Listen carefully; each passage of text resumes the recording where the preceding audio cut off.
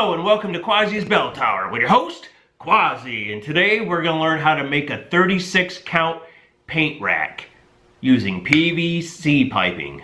So let's get to it.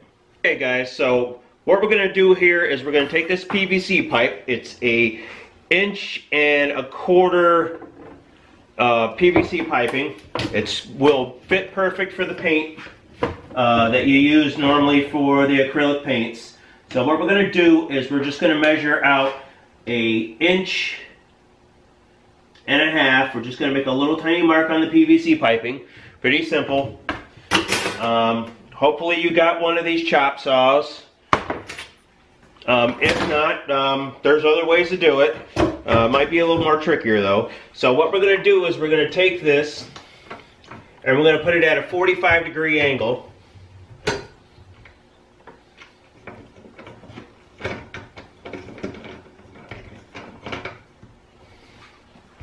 Okay. What I'm going to do is I'm just going to line this up the best I can. Right up to the line.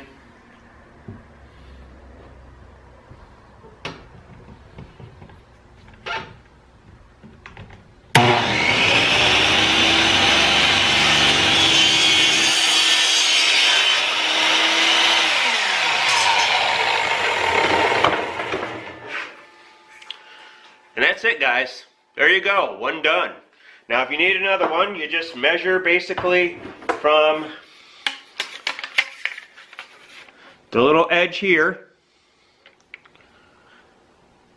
to the one and a half inch mark, or a half, yeah, inch and a half mark. Mark it there. Put this back up at a 90 degree angle and cut a, and cut a straight line. And then that's it. And then all you have to do is clean all the debris out, make sure it's clear, and that'll be it.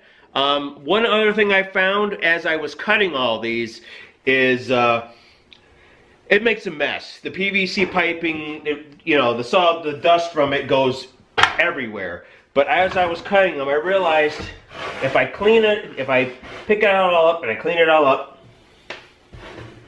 and put it, I got some in a container right now. I got some in some old uh, cottage cheese or, you know, containers. Um, it makes, uh, I don't know, hopefully that'll focus on it. But it makes some really good, uh, like sawdust. You could, it's almost, I mean, it's, you know, a little bit thicker than, well, not thicker, but a little more different than uh, sawdust.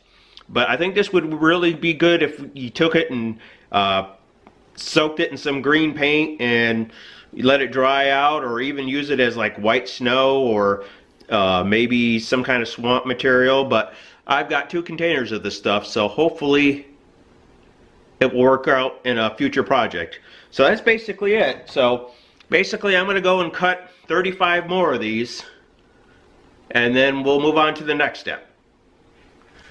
Okay now in this step I'm just super gluing these to the board. Um, I pretty much did them all already. I'm just doing this last one so I can show you and then talk a little bit about it. So let me get some glue on this last piece.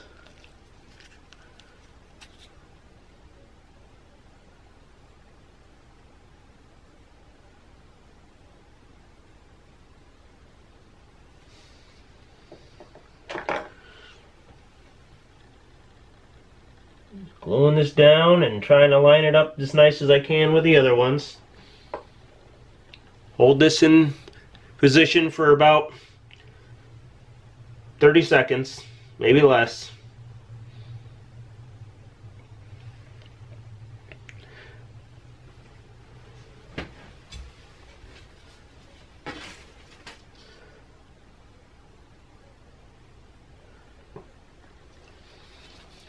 Now this board is actually a board I got from a uh, mailbox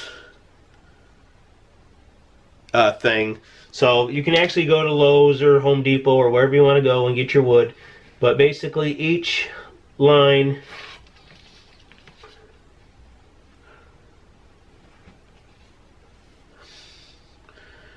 from here to here is four inches, so I've spaced them about four inches apart all the way down.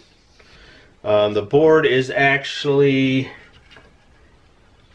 about 11 and a half, a little over 11 and a half inches long or wide.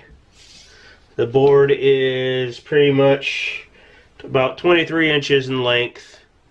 So if you can get yourself a decent piece of plywood or particle board or whatever you want to use, paneling board basically is all this is. Uh, is all you're going to need. So I just basically super glued each one on here and just kind of eyeballed them and spaced them the best I could. So there you guys go. One paint rack, 36 counts of paint. Well, I hope you liked that video. If you did, subscribe, comment, and like always, ring that like button like a hunchback.